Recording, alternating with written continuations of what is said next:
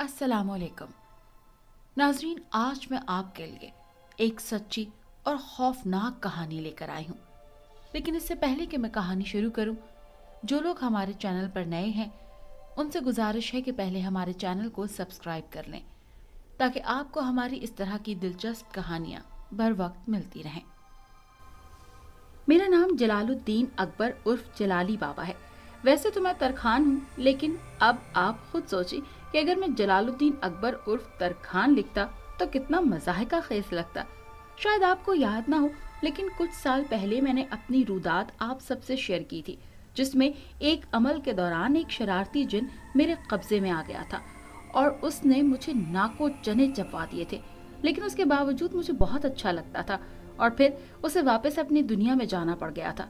वैसे एक रास की बात बताऊँ वो किसी अमल के ज़रिए मेरे कब्जे में नहीं आया था, बल्कि रास्ता भटक कर मेरे आस्थाने पर आ गया था, क्योंकि उसके खानदान वालों ने किसी बात पर नाराज़ होकर उसे कुछ अरसे के लिए अपने इलाके से जिला वतन कर दिया था।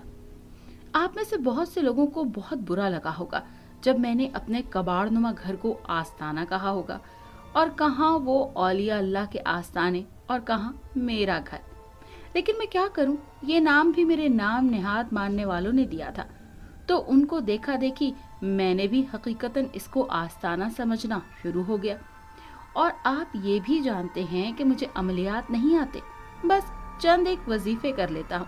चंद तावीज, जिसमें सिर्फ़ अल्लाह का कलाम लिखना होता है, लोगों को दे देता हूँ। अब ये तो खुदा का खास करम है कि वो लोगों की मुश्किलें हल कर देता है। मेरे ज़रिए तो ये बुरा तो ना हुआ ना। पिछली बातें इसलिए दोहराई ताकि आपसे कुछ पुराना तारुफ भी हो जाए। इस बार भी आपसे कुछ नया शेयर करना चाहता हूँ। वो एक अंधेरी रात थी और मैं हसब मामूल सोने में मसरूफ था। मैंने रात तीन बजे का अलार्म लगाया हुआ था, क्योंकि रिस्क में इजाफे के लिए मुझे एक खास वजीफा करना था। उन दिनों हालात बहुत तंग थे। मेरे मुरीद भी मेरी तरह फाकों तक आए हुए थे। इसलिए कोई दुआ तावीज़ के लिए मेरी तरफ़ उन दिनों नहीं आ रहा था। अगर वो कोई नजराना देता तो कुछ अरसे गुजारा हो जाता। लेकिन खैर मैंने एक वजीफे के बारे में पढ़ा कि अगर वो रात के तीन बजे किया जाए तो अल्लाह रिस्क के दरवाजे खोल देता है। अलार्म की आवाज़ से मैं उठा और गौसल खाने का रुख किया, जो बाहर छोटे से सहन में वाक़ था। मैं वज़ू करके निकला तो बाहर दीवार के पास मेरी नज़र चली गई। घर के साथ ही कब्रिस्तान वाक़ था, जिसकी तरफ़ हर रात देखना गोया मेरे सब्र और हिम्मत का इम्तहान होता था। मैं फितरी तौर पर ही बुजदिल वाक़ हुआ हूँ और कब्रिस्तान के करीब रहना जैसे खुद को शदीद खौफ में मुब्तला करना था। लेकिन कोई ठिकाना ना होने की वजह से मुझे इसी घर में रहना पड़ता था, जो मुझे मेरे एक नए मानने वाले ने बड़ी चाहत से रहने को दिया था। उसके ख्याल में मुझे वसाइफ करने के लिए ऐसे ही वीराने में घर की ज़रूरत थी, लेकिन उसे मेरे बारे में क्या मालूम था? खैर, जैसे ही मैं वज़ू करके निकला तो मेरी नज़र कब्रिस्तान की तरफ़ उठ गई। वहाँ खड़े दरख्त जैसे भूत मालूम होने लगे। हवा से लहराते झूलते मेरे दिल में शदीद खौफ भरने लगे। मैं वहाँ से सरपट दौड़ा और कमरे में दाखिल होकर अंदर से कुंडी लगा ली। थोड़ी जान में जान आई तो जाय नमाज़ बिछाकर तहज्जुद अदा करने के बाद वो मखसूस वजीफा शुरू कर दिया। आधे घंटे बाद जब वो वजीफा खत्म हुआ और मैंने आँखें खोली, कुछ अजीब सा एहसास होने पर मैंने मुड़ के देखा। वो कोई आदमी था जो मेरे पीछे इनहमाक से मुझे देखने में मसरूफ था। मैं थोड़ा सा डर गया। दरवाज़ा बंद था तो वो अंदर कैसे आया? कौन? कौन हो तुम? मेरी जबान हल्की सी लड़खड़ाई। अरे खुद ही चिल्ला काट के मुझे कैद किया और अब पूछ रहे हो कि कौन हो? उसकी आँखों की शरारत मुझे नज़र आ रही थी। मैं तुम्हारा मुक्किल हूँ। तुम जो कहोगे, मैं वो करूँगा। मैंने सर से पैर तक हालाँकि उसके पैर नज़र नहीं आ रहे थे, गौर से देखा। वो इंसानों जैसा लग रहा था, लेकिन ज़ाहिर है वो इंसान नहीं था, वरना अंदर से कुंडी लगे दरवाजे से बिना कोई आवाज़ पैदा किए कैसे आ सकता है? लेकिन मैंने मौक्कल को काबू करने के लिए कोई वजीफा नहीं किया। मैंने दिल को मज़बूत करके कहा, भाई, ना भी किया हो, तब भी मैं तो आ गया हूँ। अब तो मैं कहीं नहीं जाने वाला। वो जो भी था, पाँव पसार के बैठ गया। तुम कौन हो? मेरे दिल का शक ज़ुबान पर आ गया। देखो, मैं एक जिन हूँ, लेकिन तुम्हें डरने की कोई ज़रूरत नहीं। हम दोस्तों की तरह रहेंगे। बहुत इत्मीनान भरे लहजे में वो मुझसे बोला। उसके जिन होने का सुनकर मुझे इतना डर नहीं लगा, क्योंकि इससे पहले भी एक ज़बरदस्ती का मेहमान जिन मेरे साथ काफ़ी अरसा रह चुका था। अब फिर किसी ज़बरदस्ती मेहमान का सुनकर मेरे चौदह तबक रोशन हो गए। मेरे पास अपने लिए कुछ नहीं था तो उसे क्या खिलाता? और जिनों की खुराक तो तौबा तौबा। तुम मेरे पास क्यों आए हो? कहीं और क्यों नहीं गए? तुम्हारे पास शौक से नहीं आया। बस, ये घर सामने था तो मैं चला आया। लेकिन तुम आए क्यों हो अपनी दुनिया को छोड़कर? मैं दिल में मचलता हुआ सवाल लबों पर ले आया। बस यार, कुछ ना पूछो। वो बनावटी, दुखी लहजे में बोला, ठीक है, नहीं पूछता। मैं भी जल के बोला, नहीं नहीं, पूछो, ज़रूर पूछो। वो जल्दी से बोला, बल्कि मैं खुद ही बता देता हूँ। यार हमारे इलाके में काफ़ी गरीब जन्नात रहते हैं, मेहनत मजदूरी करके गुजारा करने वाले। अब कुछ अरसे से वहाँ महँगाई इतनी ज़्यादा हो गई कि गुजारा मुश्किल होने लगा। इसलिए मेरे माँ बाप ने मुझे इंसानी दुनिया में आने का कहा, ताकि मैं तो पेट भर के खा सकूँ और उनको भी एक अफराद का खाना नहीं बनाना पड़ेगा। मैं हैरान होकर उसकी तरफ़ देखने लगा। क्या हुआ? यकीन नहीं आ रहा मेरी बात का। यकीन करो, इंसानी दुनिया की तरह हमारी भी एक दुनिया है, एक ज़िंदगी है, और वहाँ हमें भी ज़िंदा रहने के लिए मेहनत करनी पड़ती है। कोई गैबी इमदाद नहीं मिलती हमें, बल्कि करके खाना पड़ता है। दुनिया जहाँ की मिसकीनियत उसके चेहरे पर तारी थी। मुझे तो वो एक नंबर का झूठा इंसान मतलब जिन लग रहा था। कुछ खाने को मिलेगा? पेट पे हाथ रखे वो लालची नज़रों से मेरी तरफ़ देखने लगा। मेरे पास अपने खाने के लाले पड़े हुए थे। मैं तुम्हें क्या दूँ भाई? मैं जल के बोला, इससे पहले कि मेरी बात मुकम्मल होती, वो रात के बचे हुए खाने को एक ट्रे में सजाए मेरे सामने हाजिर हुआ। झूठ बोल रहे थे जलाली यार, वो खासे बेतकल्लुफाना अंदाज में पाँव पसारे बैठ गया। मैं तो गोया जल जल के कबाब हो गया। वो खाना जो मैंने नाश्ते के लिए संभाल के रखा था, वो खा रहा था। एक तो ये सारे भूखे, नंगे पेटू जिन मेरे लिए ही रह गए हैं। मेरा बस नहीं चल रहा था कि इससे वो खाने की ट्रे छीन लूँ। अब क्या नज़र लगाओगे? मेरी कहर बरसाती नज़रों के जवाब में वो जिन बोला और मज़े से खाना खाने में मसरूफ हो गया। मैंने जाय नमाज़ समेटी और सोने के लिए बेड पर लेट गया। इरादा था कि कुछ देर आराम के बाद फजर की नमाज़ के लिए उठूँगा, लेकिन जलते कुड़ते कब नींद आई और कब सुबह हुई? पता भी ना चला।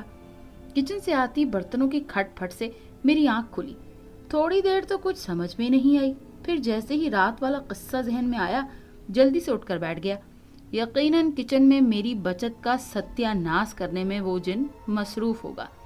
ये ख्याल आते ही मैंने जल्दी से किचन की तरफ़ देखा और अंदर बिखरा किचन देखकर मेरे चौदह तबक रोशन हो गए। ये क्या हो रहा है?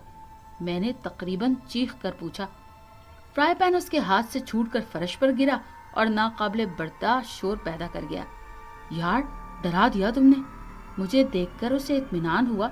वो फ्राई पैन उठाने झुका और जब वो झुका तो उसकी फ्लैट कमर एकदम फोल्ड होकर इंग्लिश के लफ्ज वी की शक्ल में आ गई और इतनी मजाहका खेज लगी कि मेरे होठों से हँसी का फवारा छूट पड़ा। मुझे यूँ हँसते देखकर वो और चौड़ा हो गया। बैठो जल्दी यार अभी गर्मा गर्म मज़ेदार नाश्ता पेश करता हूँ। मेरा गुस्सा खत्म हो चुका था, क्योंकि मेरा गुस्सा करने से वो जाने वाला तो था नहीं, इसलिए अपना खून खुश करके मुझे क्या मिलना था? अगर वो मेरे साथ रहता तो मुझे बहुत से फ़ायदे हो सकते थे। एक तो घर के कामों की टेंशन खत्म हो जाती, दूसरा जो मुरीद आ नहीं रहे थे, उनको घेर घार के लाने के काम भी आता। मतलब थोड़ा बहुत डरा कर उन्हें ये एहसास दिलाकर कि उनके घर में किसी सेब का बसेरा है। नाश्ता वाकई मज़ेदार था, लेकिन दो दिन के खाने के सामान का उसने एक ही वक्त में सत्यानाश कर दिया था। लेकिन बेचारा, वो भी क्या करता? कम खाना उसके लिए काफ़ी नहीं था। अब बताओ जलाली यार, क्या परेशानी है? नाश्ते के बाद उसने पूछा, जवाबन मैंने अपनी तंगदस्ती का सारा माजरा कह सुनाया। यानी हम दोनों का मसला एक ही जैसा है। चलो, मिलके सोचते हैं कि करना क्या है। और फिर जो मिलके सोचा, उसके नतीजे में उनको एक परेशान हाल आदमी, जो पहले भी कई दफ़ा आ चुका था, हाजिर हुआ। मैं इस वक्त फुल जलाल में था। बोला, क्या हुआ बच्चा? नहीं सरकार, बच्चा तो नहीं हुआ, परेशान हाल मुरीद बोला। मैं तुम्हें बच्चा कह रहा हूँ यार, लेकिन सरकार, मैं कहाँ बच्चा हूँ?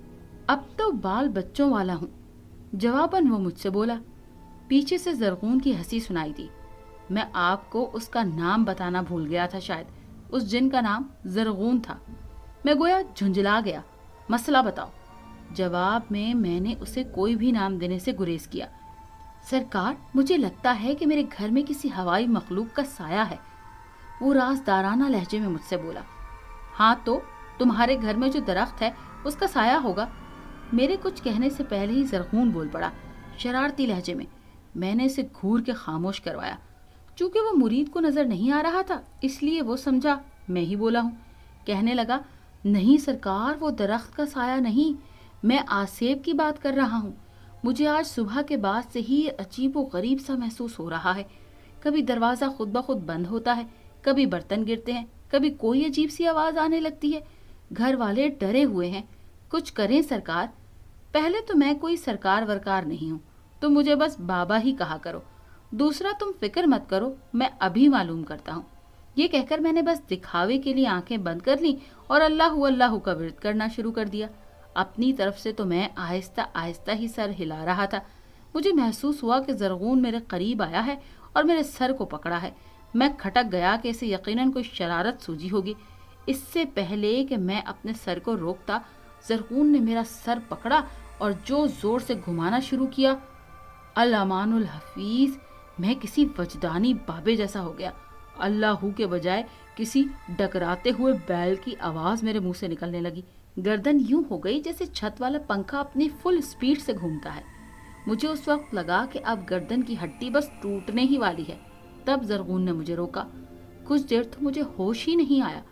चकराते चकराते सर को थामने में मुझे बमुश्किल आँखें खोलकर मुरीद की तरफ़ देखना पड़ा।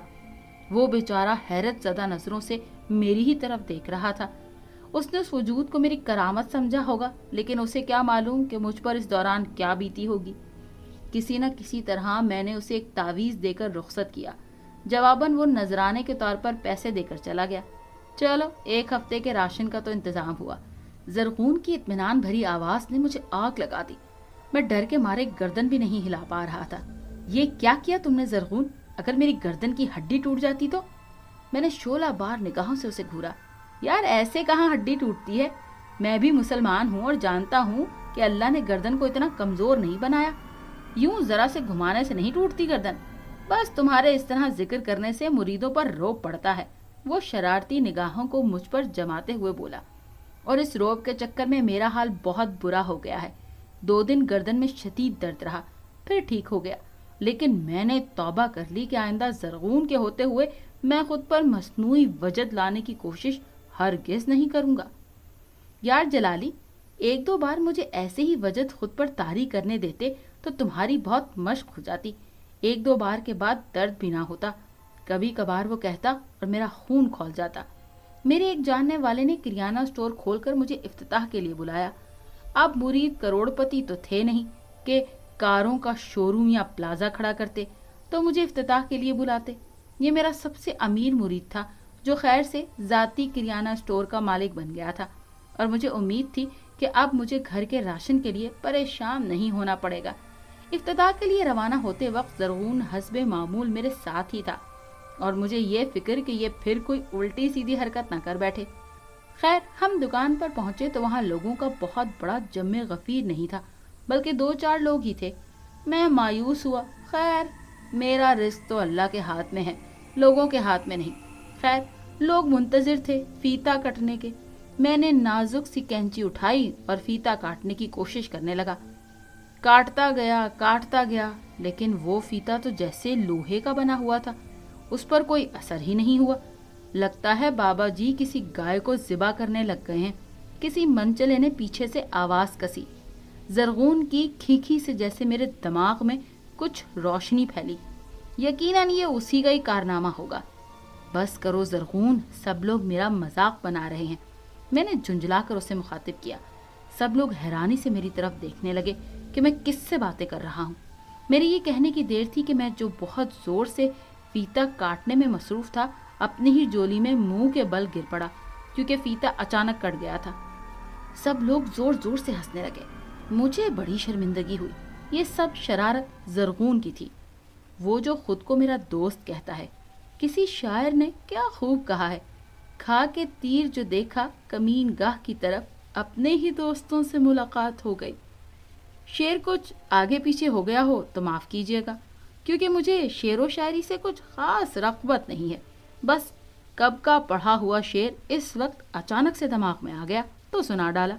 खैर इफ्तः के बाद चंद बातें वगैरह वगैरह हुई और फिर रिफ्रेशमेंट का भी इंतज़ाम था। और खाने का सुनकर तो जरगून के मुँह में हमेशा ही पानी आ जाता है। मैं डरते डरते मेज़ के करीब बैठा और फिर मेरे ज़रिए जरगून की रिफ्रेशमेंट की ऐसी की तैसी हो गई। सब लोग हैरानी से मेरी तेज़ी से चलते हाथ और उससे भी तेज़ी से चलते होंठ देख रहे थे। बाबा जी, लगता है खाने की शक्ल तक भूल गए थे। उस मनचले ने आवाज़ लगाई जो मेरे गिरने पे बोला था। मैंने शोला बार निगाहों से उसे घूरा। वो शरारती आँखों से मेरी तरफ़ ही देख रहा था। मेरा मुरीद हक्का बक्का था कि आठ दस आदमियों का इंतज़ाम पल में ढेर हो गया। बाबा जी अगर गुंजाइश है तो और कुछ लाऊं? वो हल्के से तंजिया लहजे में बोला, मुझे बड़ी शर्मिंदगी हुई। नहीं नहीं, बस बहुत है। ये बात कहकर मैंने उस शरारती लड़के की तरफ़ देखा। वो पहले से ही मुस्कुराते हुए मेरी तरफ़ देख रहा था। मैं खिसियाना सा हो गया। खैर कुछ देर बाद हम वापसी के लिए रवाना हुए तो मुरीद ने बहुत सा सामान मेरे साथ कर दिया। वो सामान दो हफ्तों के लिए था।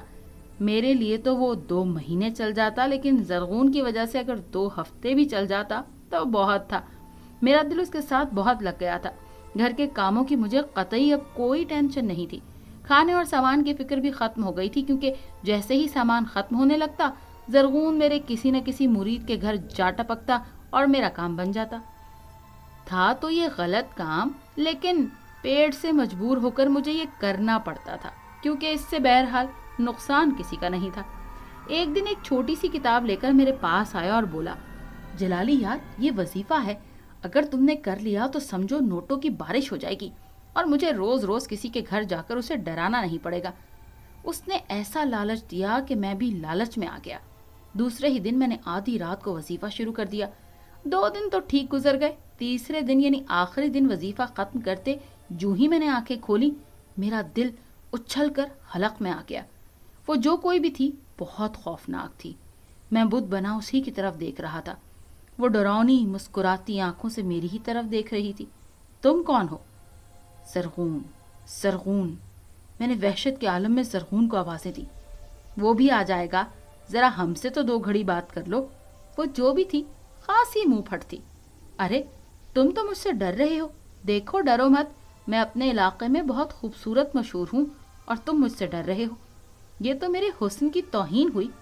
खासे दो नंबर लहजे में बोली, तुम हो कौन और मेरे पास क्यों आई हो? मेरे दिल में खतरे की घंटी बजने लगी। कहीं जरगून की तरह ये भी मेरे घर में ना रहने लग जाए। अरे, मैं खुद कहाँ आई हूँ? तुमने ही तो बुलाया है ये वजीफा करके। उसने मेरे हाथ में मौजूद छोटी सी किताब की तरफ़ इशारा करके कहा लेकिन ये तो रिस्क में इजाफे के लिए है। और जैसे सब कुछ मेरे जहन में रोशन हो गया, जरगून ने यकीनन कोई मज़ाक किया था मेरे साथ। रिस्क में तो इजाफा ना हुआ, एक फर्द का ज़रूर इजाफा हो गया। ये जरगून भी ना, लगता है अपनी किसी दोस्त को भी बुला लिया है। अब मेरा तो सांस लेना भी मुहाल हो जाएगा। मैं परेशान था, लेकिन जब तक जरगून तस्दीक ना करता, मैं कुछ हौसले में नहीं था। और फिर जरगून ने उसे अपनी महबूबा बताया तो मेरे चौदह तबक रोशन हो गए। देखो जरकून, मेरे घर में रहना है तो कायदे से रहना होगा, कुछ उल्टा सीधा नहीं चलेगा, मैंने धमकी देने वाले अंदाज में कहा। जलाली यार, फ़िक्र मत करो, मैं भी मुसलमान हूँ, ऐसा कुछ नहीं करने वाला। दरअसल यार, हम भाग के शादी करना चाहते थे। वो मेरा मतलब है, भाग तो हम चुके हैं, बस शादी करनी बाकी है। अगर तुम हमारा निकाह करा दो तो बड़े सवाब का काम होगा, और फिर हम जल्दी से वापस भी जा सकेंगे। दरअसल मैं तुम्हें सारी बात बताता हूँ। अगर हम अपने इलाके में रहते तो हमारी शादी एक साल तक होना मुमकिन नहीं था। और दूसरी बात, अगर हम उनके इल्म में लाए बगैर शादी कर लेते तो वो इस शादी को ज़रूर कबूल कर लेते। लेकिन अपनी दुनिया में उनके इल्म में लाए बगैर शादी करने का तो सवाल ही पैदा नहीं होता। इसलिए हमने ये प्लान किया कि मैं कुछ दिन बिल्कुल नकम्मों की तरह पढ़ा रहा और मेरे वालदेन ने सजा के तौर पर मुझे इंसानी दुनिया में भेज दिया। और कुछ दिन बाद ही मैंने एक अमल के ज़रिए अपनी महबूबा, जिसका नाम मरहुमा है, को इस दुनिया में बुला लिया। अब हमारे खानदान वालों को हमारी शादी का बिल्कुल भी इल्म नहीं हो सकेगा और हम उन्हें सरप्राइज़ देंगे। जरगून के चेहरे पर मोहब्बतों के फूल से गिरते महसूस होने लगे। लेकिन मरहुमा नाम कितना अजीब है, मैंने दिल में सोचा, लेकिन इजहार नहीं किया। फिर मौलवी को बुलाकर उनका निकाह पढ़वा दिया। वो दोनों इंसानी शक्ल में मौजूद थे। निकाह के फौरी बाद वो मुझे अलविदा कहकर हमेशा के लिए रवाना हो गए। उसके जाने से कितने ही दिन मैं उदास रहा, फिर अपनी रूटीन में आ गया। मरहुमा नाम सोचकर मेरे लबों पर मुस्कुरा।